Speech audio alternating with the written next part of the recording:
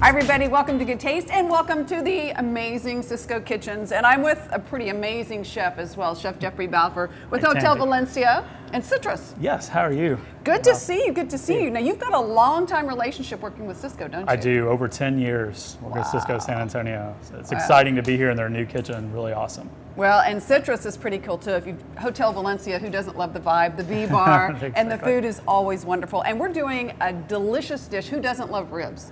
Exactly. This is a really cool dish. Um, just easily put together. It doesn't take a lot of prep, just a little bit of stuff up front, and then it's a lot of just mixing and letting it cook. So it's great for dinner parties, stuff like that. And you can tell Do there's it ahead of so much fresh produce, so many ingredients involved. You know it's going to be a delicious finished product. And you like this particular uh, purveyor for your meat, right? I do. Um, Texas Meats is really awesome. They really great product. They cut everything to order, um, which is really important a lot of the time. It's hard to get stuff that you like exactly, and they do a really great job at that. All right, let's get started. So we have some great short ribs here, like I said, from Texas Meat. Nice cut.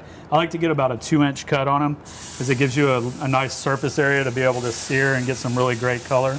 Make sure that those get nice and brown on all sides. Really, the darker sear you get on them, the, the better your sauce is going to be. Just a little bit richer and darker.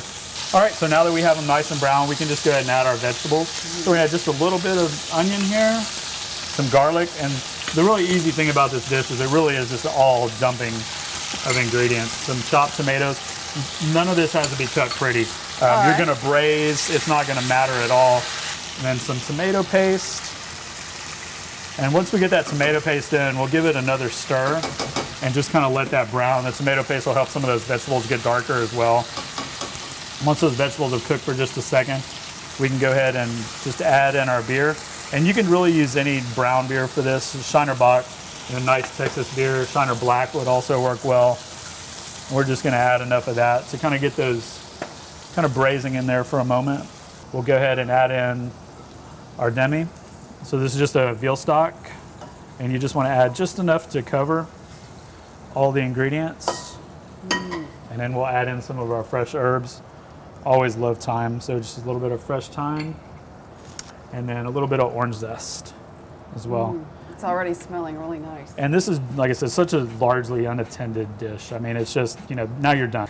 Okay, so now that we have them finished, uh, what we've done is we just pulled the meat right off the bone. Real easy to do. It's gonna shred right off. And then you're just gonna kind of mix it around just a little bit, just to get it nice and kind of that shredded texture, you know, that it's gonna be real soft and tender. All right, so now we've kind of finished the dish off here. Use the, uh, the masa to make a sope on the bottom. And it's just real simple. You can pan fry those. Um, finish with the short ribs and then just a little bit of the uh, pickled escabeche.